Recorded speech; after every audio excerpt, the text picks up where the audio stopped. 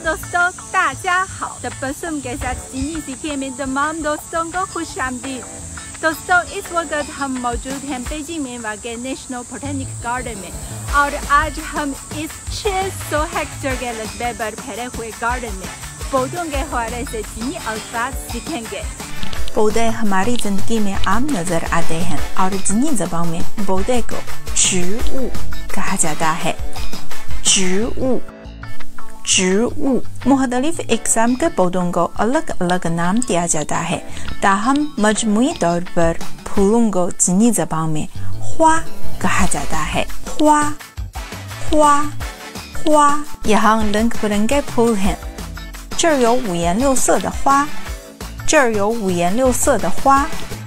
खास को चीनी जबान में 草 कहा जाता है 草草草 草 ,और दरहत को जाता है।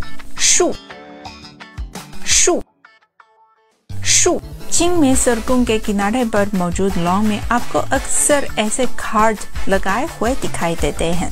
जिन पर लिखा हुआ होता है कि, आए हु हुआ छाओ शू मु हु हुआ छाओ मु इस जुमले का मतलब यह है कि फूल, खास और दरख्तों समेत पौधों की हिफाजत की जाए। अब हम डांग राइड ऊद के जंगलात में मौजूद हैं और जंगल को चीनी जबान में सन लिन या शू लिन कहा जाता है। शू लिन शू लिन, सन लिन सन लिन। क्या आपने सीख लिया है? अगर कोई सवाल हो तो बेशक आप कॉमेंट्स में मुझसे पूछ सकते हैं।